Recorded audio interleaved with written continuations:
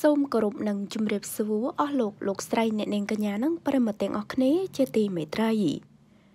ក្តៅក្តៅលោកសវណ្ណរិទ្ធីក្រោយពីបួសរយៈពេលខ្លីរួចមកស្រាប់តែពេលនេះសឹកវិញហើយប្រិមិត្តជាច្រើនបានជ្រាបដឹងហើយថាលោកស្វណ្ណរិទ្ធីព្រមជាមួយនឹងប្អូនប្អូននិងក្រុមការងារបួសសងគុណឃើញថាអ្នកគ្រប់គ្រងមានការត្រេកអរជាខ្លាំងដែលលោកបានធ្វើ ហើយបងប្អូនរបស់លោកវិញកាន់តែសប្បាយរីករាយបន្ថែមទៀតជាក់ស្ដែងលោកបានធ្វើការបួសជាមួយនឹងប្អូនប្អូនព្រមទាំងឪពុករបស់លោកកាលពីថ្ងៃទី10ខែតុលាកន្លងទៅ ដោយឡែកក្រោយពីបួសអស់រយៈពេលជាង10ថ្ងៃមក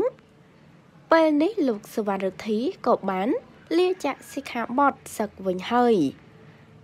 ដោយនៅក្នុងនោះលោកសវណ្ណរិទ្ធីបានបង្ហោះរូបភាពជាចរន្តសន្លឹង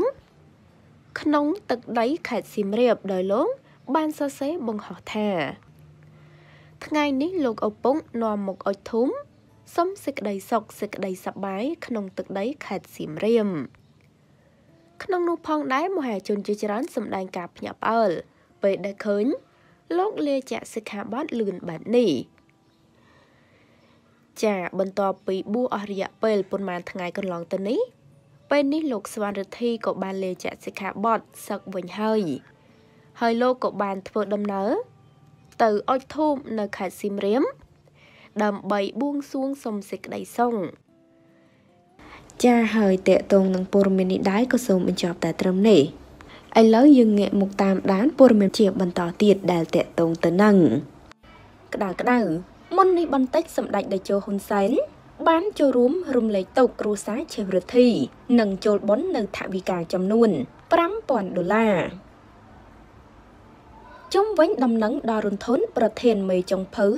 លំដាប់ផ្កាយ5និងជាគណៈកម្មការកម្មវិធី Master Chef ខ្មែរបានទទួលមរណភាពកាលពីថ្ងៃទី21ខែតុលាឆ្នាំ2020វេលាម៉ោង2:01នាទីរំលងអាត្រៀនយប់មិញធ្វើឲ្យសមាជិកគ្រួសារក៏ដូចជាមិត្តរួមអាជីព សម្ដែងការសោកស្ដាយយ៉ាងខ្លាំងជាក់ស្ដែងនៅមុននេះបន្តិចនាថ្ងៃទី22ខែតុលាឆ្នាំ2020បើយោងតាមរយៈ Facebook របស់ Chef Jessica បានប្រាប់ដំណឹងមួយឲ្យដឹងថា សូមអរគុណដល់សម្ដេចអគ្គមហាសេនាបតីតេជោហ៊ុនសែននាយករដ្ឋមន្ត្រីនៃព្រះរាជាណាចក្រកម្ពុជា និងសម្ដេចគតិប្រិទ្ធបណ្ឌិតប៊ុនរ៉ានីហ៊ុនសែនដែលតែងតែយកចិត្តទុកដាក់ដល់កូនចៅពេលកូនចៅជួបគ្រាលំបាក មិនថាពេលណាវិនាទីណា លោកទាំងពីរតែងតែជួយគ្រប់ពេលសូមអរគុណប៉ាដែលបានអញ្ជើញចូលរួមតំណាងជំនួសលោកទាំងពីរស្របពេលនោះដែរអ្វីដែលគួរឲ្យចាប់អារម្មណ៍នោះគឺឪពុករបស់កញ្ញាជេស៊ីកាគឺជាអ្នកតំណាងដ៏ខ្ពង់ខ្ពស់របស់សម្ដេចតេជោហ៊ុនសែនបាននាំយកថវិកាចំនួន5000ដុល្លារទៅជូនភរិយារបស់លោកសេសុផានរិទ្ធីហៅឆេហ្វរិទ្ធី ចាសម្ដេចតេជោហ៊ុនសែននិងសម្ដេចកតិប្រិទ្ធបណ្ឌិតប៊ុនរ៉ានីហ៊ុនសែនបានចូលរួមរំលែកទុកគ្រួសារឆេវរិទ្ធីហើយក៏បានចូលបន់នឹងថវិកាចំនួន5000ដុល្លារលោកទាំងពីរពិតជាតែងតែយកចិត្តទុកដាក់ចំពោះកូនចៅ ពេលដែលកូនចៅ